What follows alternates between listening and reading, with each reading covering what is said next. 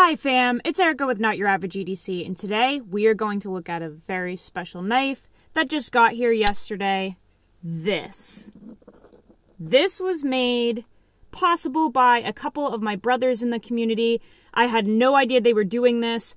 Uh, this is a completely modified and improved Native 5 lightweight from Spyderco in Rex 45 but as you can see, it does not look normal at all. It is completely upgraded. So today I just want to show you guys what Anthony did to this knife to make it possible, to make it better, to make it improved.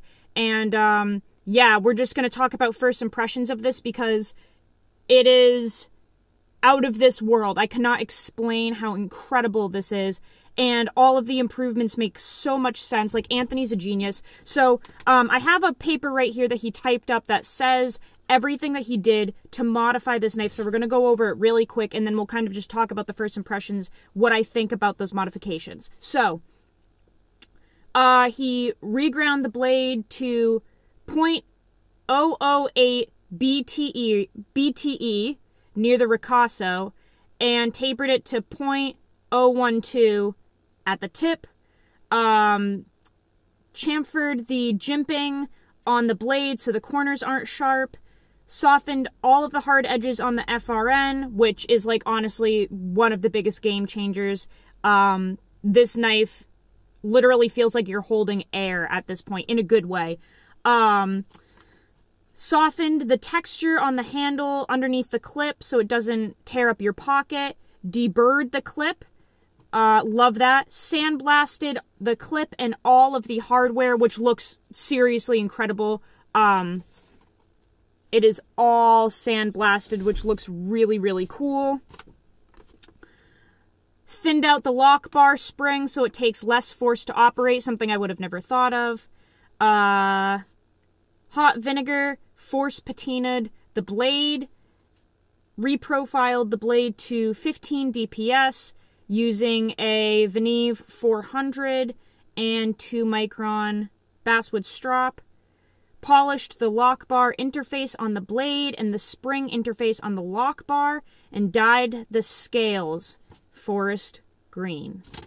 So those are all of the improvements that Anthony did to this. Um, from my understanding, a guy named Ben, who I have recently met through the community, bought this from GP Knives and had it directly shipped to Anthony, who then did all of the modifications on it.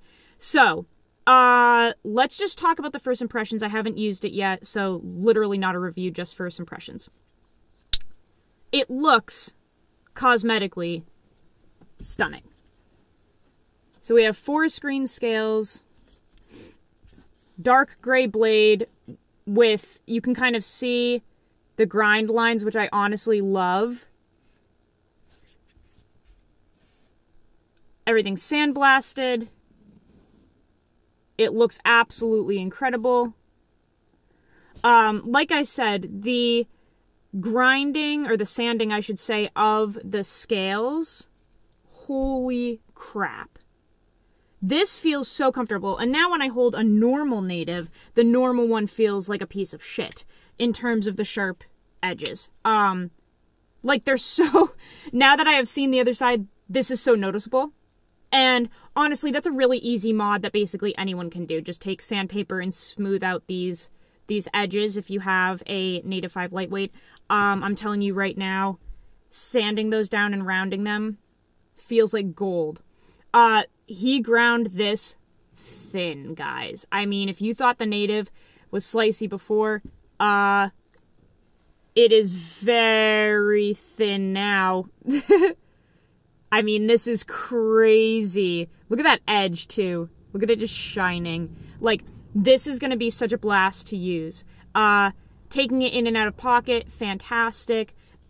Action is still silky smooth, which can be a huge issue when you dyed these scales or when you mess with the blade and try to put a force patina on it, sometimes taking that blade out and etching it and then putting it back in makes it gritty. This one's this one's not. It's it's still silky smooth. So Anthony definitely knows what he's doing. Um guys, I love this. I love all of these mods. I love how it came out. I can't even express how grateful I am that I have people in the community that just want to do things like that for me.